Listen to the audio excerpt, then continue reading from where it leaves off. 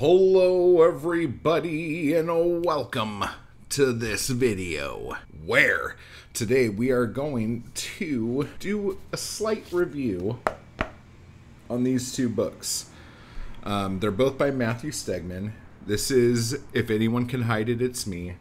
And this one is Parallel Universe Me Has No Scars. These are these are great um titles. I just read something on the back of this that cracked me up. So yeah, so let's get into these, okay?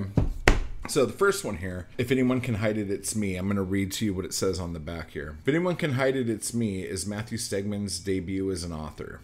Separated into four sections, this book is a collection of poetry and short narratives describing his struggle over the inability to handle a failing relationship, as well as the spiral into unhealthy coping mechanisms, the realization of his trauma and depression, and finally, acceptance. It is compiled of moments of overwhelming emotion where all he could do was write something down. However, everything is fleeting.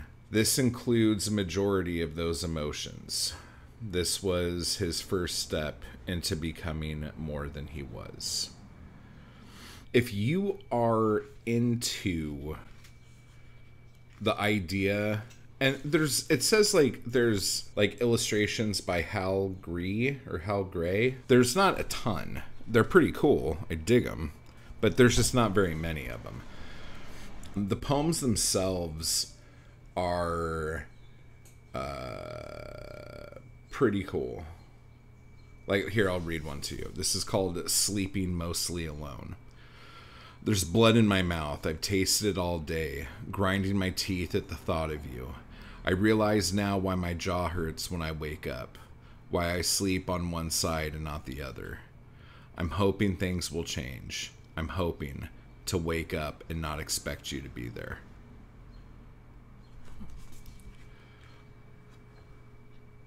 So there's they're just really like brutally honest poems.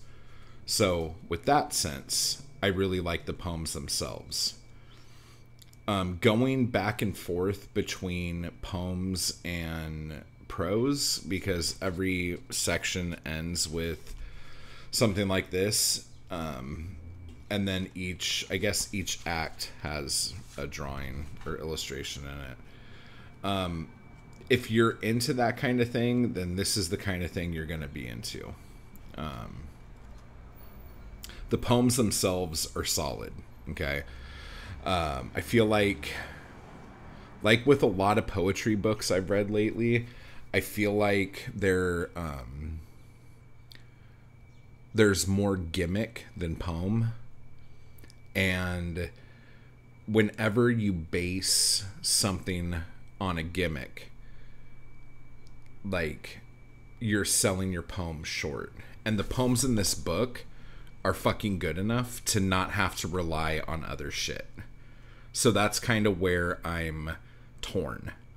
Because if you remember, I did a book review not too long ago, and the book was so gimmicky that it was hard for me to even pay attention to the poems. This, on the other hand, the poems are really good. Okay. So that's this one here. And then Parallel Universe Me Has No Scars. I love the title of this. I fucking love the title of this. Um, the cover artwork, if you can see it, is pretty cool fucking too. This one is um, not as. It, it doesn't have the same kind of device well, kind of. I mean, this one just has more poems, and then there'll be like a little prose section with a title or whatever. There, there's just some stuff like this right here, like infatuation, noun, and like going through the thing. That reminds me of the exact same gimmick that was in that oh you thought this was a date didn't you? Same kind of thing. Again these are ones that it looks like he created himself. It's not like he was just like taking definitions and putting them down. But um, there's some really like short little stories in here and then the poems kind of connect like that. So it's a little different like the poems are then based it seems like the poems are based on what the prose pieces are so again, if you're into that, this is the kind of stuff you're going to dig. Um, Parallel Universe Me Has No Scars is a collection of four poetry and short essay chapbooks by Matthew Stegman. The Last Flamingo, Memory, Memory, Absolute Absence, Ro- wait, Absolute Absence Romance, and Parallel Universe Me Has No Scars. Each section is a peek into the author's mind as he depicts his experiences, delusions, thoughts, and complaints. Have you found yourself on the opposite side of a mirror? Have you thought yourself close to insanity? Have you paved over your entire childhood? Have you seen your death in the body of others?